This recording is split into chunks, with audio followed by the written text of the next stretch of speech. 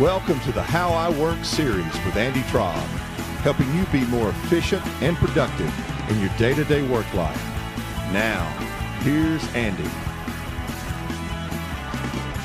Hey everybody, Andy Traub with a quick tutorial on how I use a PayPal app on my iPod Touch to take in checks.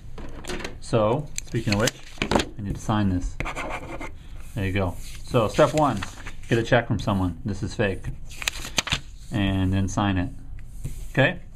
Step two, get out your iPod and find the PayPal app and sign in, which I will do right now. Okay, logging in there. And then once you are logged in, you are going to go down here to Tools and then Add Money from Checks.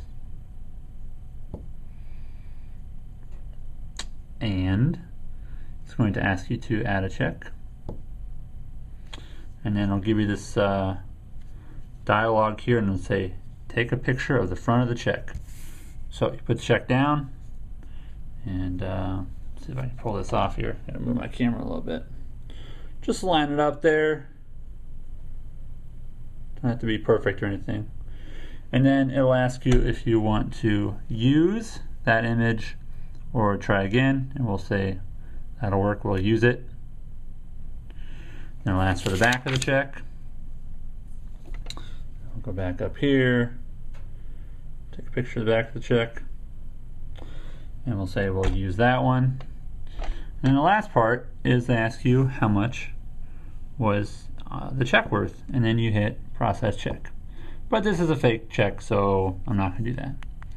And that's all you have to do. The limits are $1,000 a day and 3000 a month right now. So if you have a PayPal account, that is how you use the PayPal app to add a check. Hopefully that is helpful. See ya.